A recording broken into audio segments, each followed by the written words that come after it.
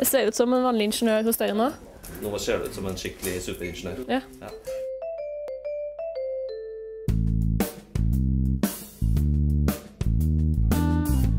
Miriam lurte på hvor mye du tjener.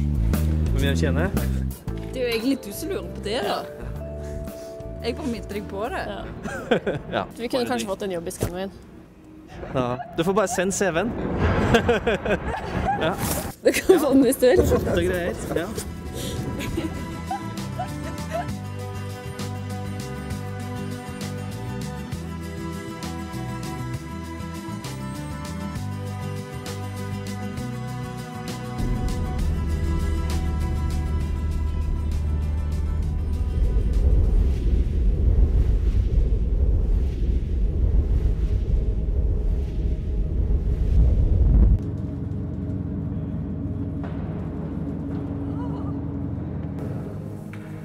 Dette her er jo nesten litt skummelt.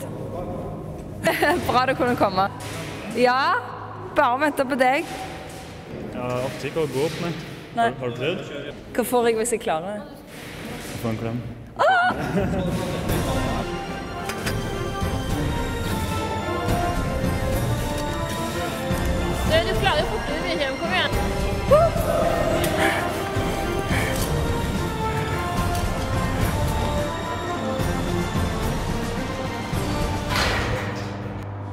Vi kom opp først.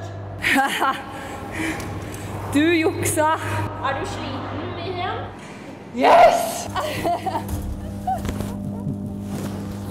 Ja, du var flink.